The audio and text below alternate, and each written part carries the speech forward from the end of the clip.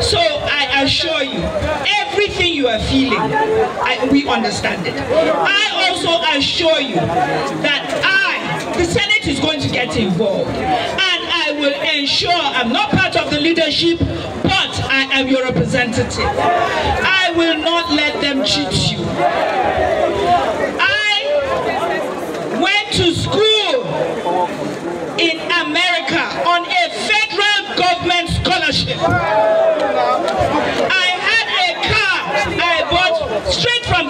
A Volkswagen, for 300 naira. So I know the Nigeria that bred me is not the Nigeria you have.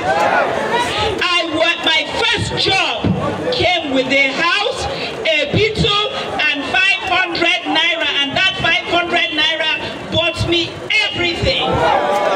So I know the issues. And I also am a mother. I have children that I want to inherit a better Nigeria.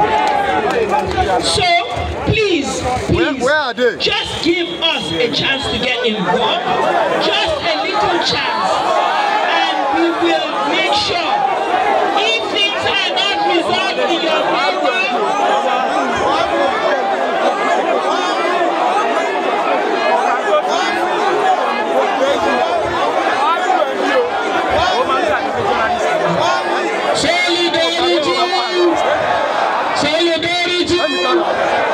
As I said, fellow comrades, we have motion on ground.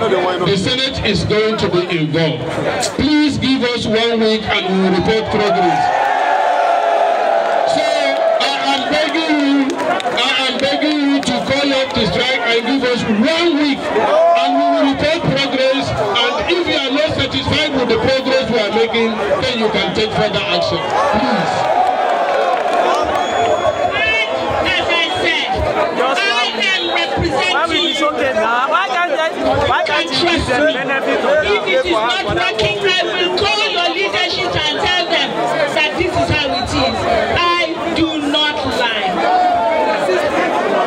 Yes, no, no, no, no. I understand fully. All the modular refineries, even if we cannot get the big ones to work, Abi, we can get give us plenty modular. small ones to work.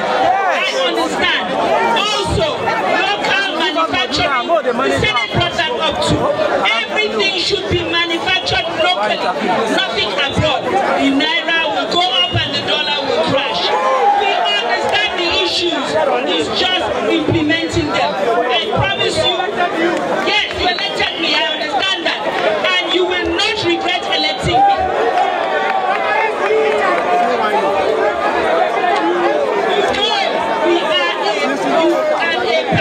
So we have come here to assure you, just give us next seven days and you see. Thank you. Yes, yes. We are okay. Thank you. Uh, solidarity.